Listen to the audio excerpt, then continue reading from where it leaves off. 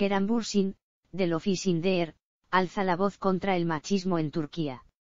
El protagonista del Ofisindeer denuncia el machismo que sufren las mujeres en Turquía. Keran Bursin deja clara su postura feminista en sus últimas declaraciones.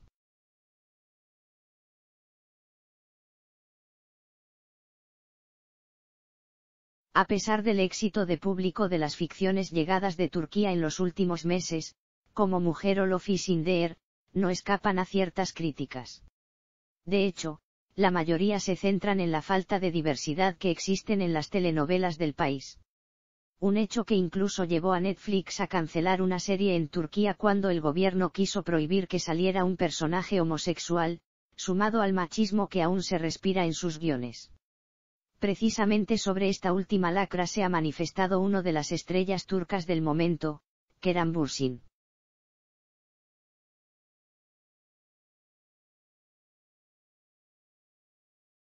El protagonista del Office Inder se ha mostrado en diversas ocasiones comprometido con causas sociales como la educación infantil.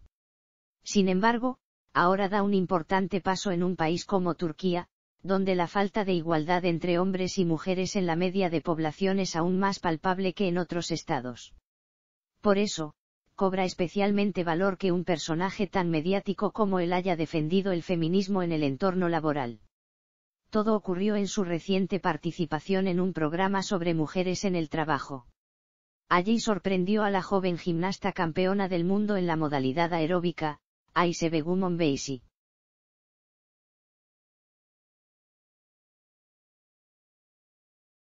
El protagonista del Office Inder y pareja de la actriz Handercel declaró en este marco de defensa del feminismo, vivimos en un sistema patriarcal. Por eso se oyen frases como vamos a cuidar a las mujeres. No hay necesidad de cuidar a nuestras mujeres, la frase debería ser no deberíamos ser un obstáculo para nuestras mujeres. Añadiendo ante los aplausos de los congregados, quedarse callado sobre esto es estar de acuerdo con el sistema. Convirtiéndose así en un aliado muy conocido para dar voz a la lucha feminista.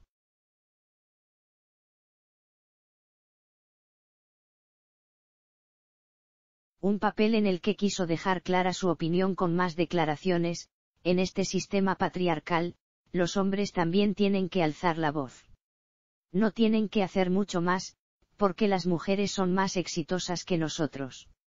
Porque, desgraciadamente, este sistema hace vuestra vida y trabajo más difíciles, confesaba dirigiéndose al público. Sin embargo, no quedaron ahí sus palabras, ya que se animó a dar cifras concretas para ver la magnitud del problema del machismo turco, hay aproximadamente 16 millones de mujeres en este país que están sufriendo violencia psicológica cada año. Deberíamos prevenir esto.